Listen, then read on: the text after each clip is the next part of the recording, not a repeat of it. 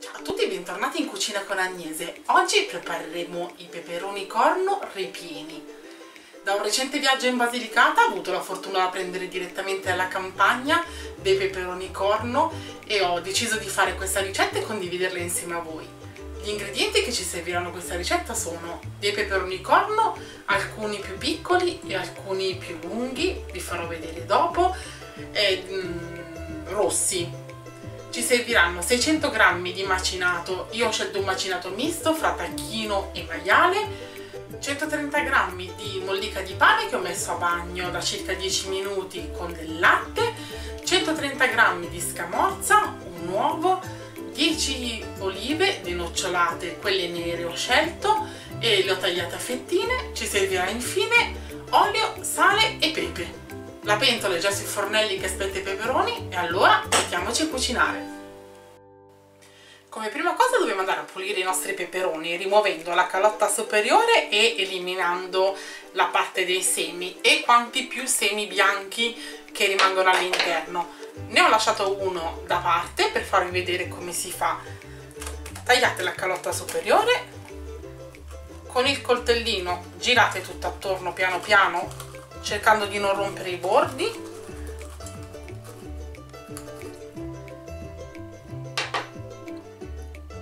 Inserite le due dita tirate piano piano e battete con un dito. Se dovesse rimanere qualche parte bianca come in questo caso vi aiutate piano piano con un coltellino. Affilato mi raccomando e senza tagliarvi i nostri peperoni sono pronti mettiamoli un attimo da parte. Ho strizzato la mollica del pane dal latte l'ho aggiunta direttamente alla carne trita. Andiamo ad aggiungere un pizzico di sale.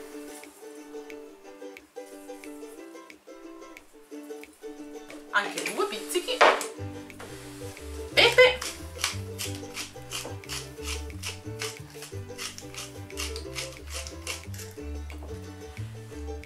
la scamorza se volete aggiungetela anche affumicata a vostro gusto. Io l'ho scelta eh, semplice questa volta tagliata a pezzettini piccolini. Aggiungetela alla carne trita. Le olive.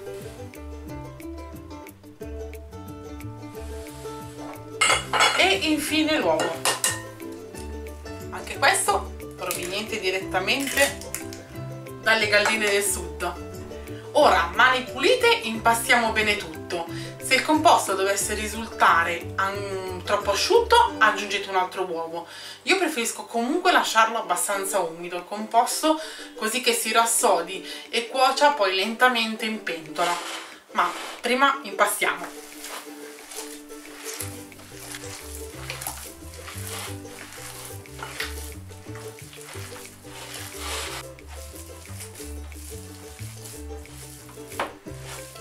Eccoci qui. Il composto è ben amalgamato proprio come piace a me. E ora riempiamo i nostri peperoni. Potete aiutarvi con un cucchiaino naturalmente ma io per comodità oramai sono abituata mi trovo bene anche solo con le mani. Prelevate poca quantità alla volta prendete il vostro peperone e spingete leggermente il composto verso il basso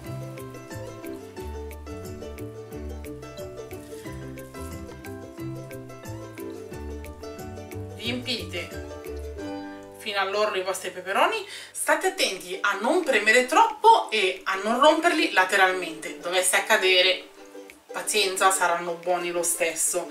Adagiateli in un piatto e continuate così a riempire tutti i vostri peperoni. Eccoci qui. Ho aggiunto un filo d'olio sul fondo della pentola. Appena appena abbiamo disposto i nostri peperoni ripieni ultimiamo con un filo d'olio sopra.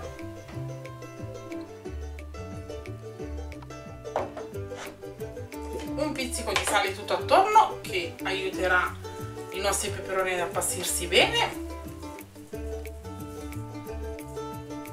E ora portiamo la nostra pentola sul fuoco. Portiamo il gas a minimo copriamo con il coperchio e cuociamo per una mezz'oretta.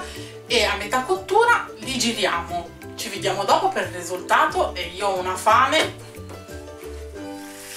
Anche voi, mi raccomando, tra un quarto d'ora circa, ricordatevi di girare i vostri peperoni e ultimare così la cottura. Eccoci qui, i nostri peperoni hanno cotto una mezz'oretta come vi dicevo e girati a metà cottura. Potete cuocerli anche in forno a 180 gradi, sempre per una mezz'oretta e noi siamo pronti ad andare in tavola. Spero tanto questa ricetta vi sia piaciuta, se vi è piaciuta mi raccomando mettete un bel like al video, vi siete iscritti al canale? Siamo arrivati a 160 ricette pronte per voi e ricordatevi che sul sito di cucinaconagnese.it trovate la lista degli ingredienti e il procedimento se li volete fare anche voi. Ci vediamo domenica prossima!